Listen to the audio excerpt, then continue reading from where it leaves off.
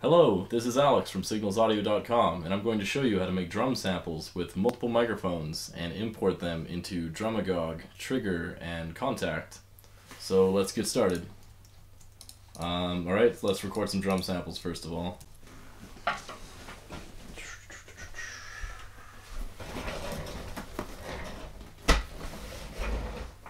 Alright, um, top microphone, bottom microphone, room microphone for example purposes. Um, here's the floor tom.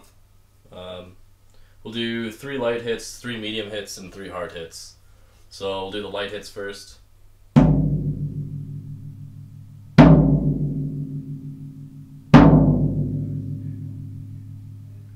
If you're doing it for real, you should let it ring out, probably more than that. Uh, medium hits.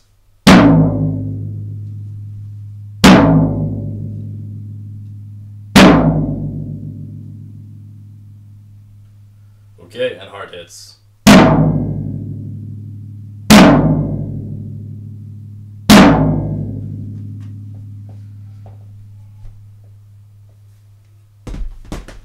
Should work.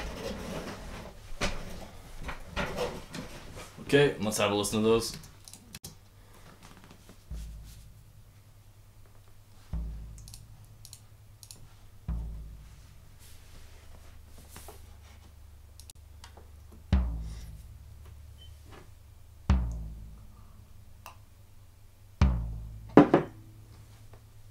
The hard hits.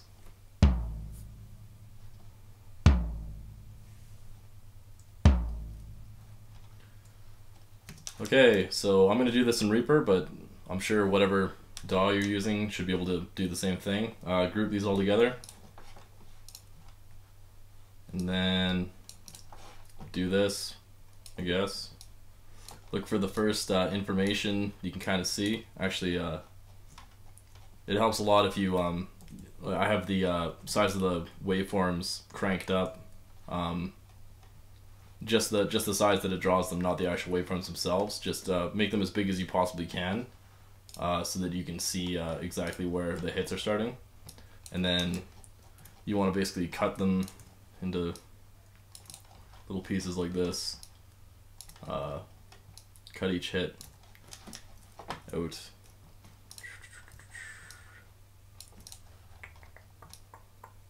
So these are the light hits here. That's just the third one of them. And then I guess I'll make them all the same length here. Here's the uh, medium hits.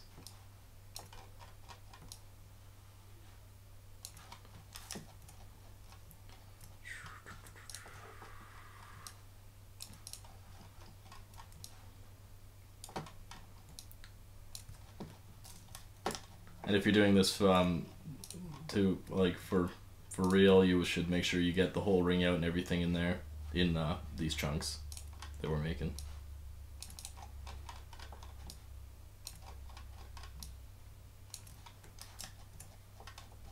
So that's the. I guess we'll make these ones a bit longer. Medium hits and hard hits will be these guys.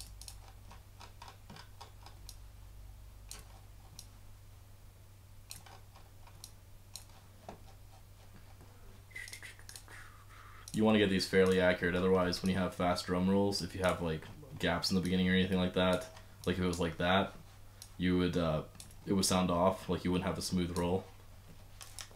Uh, be a problem. So take your time doing this stuff.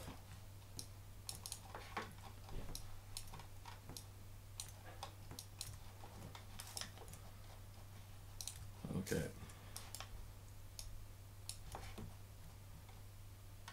So here's our samples here. Um, move this up here. And then make, um, actually, let's give these a fade out. Half a second. Just so they end up with silence, otherwise you might get a click when the sample ends. Um, and then select each piece and make a region.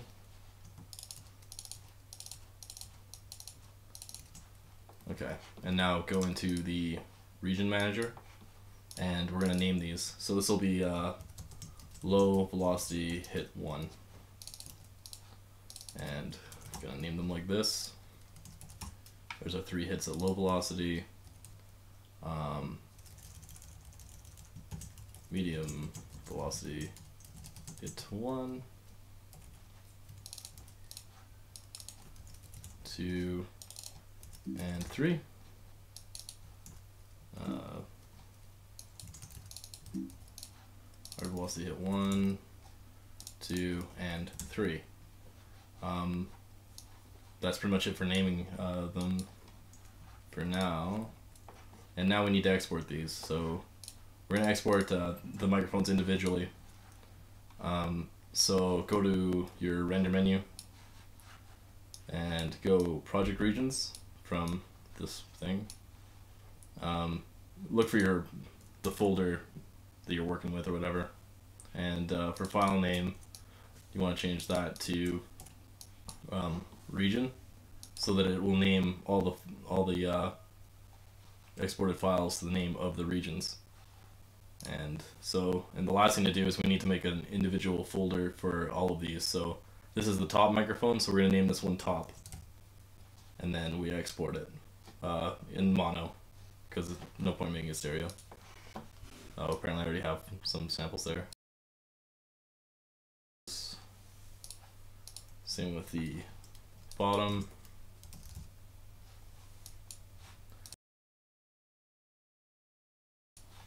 And the room mic. And over. Okay.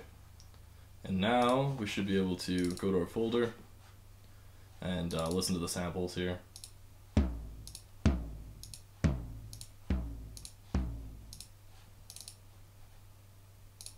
Bottom.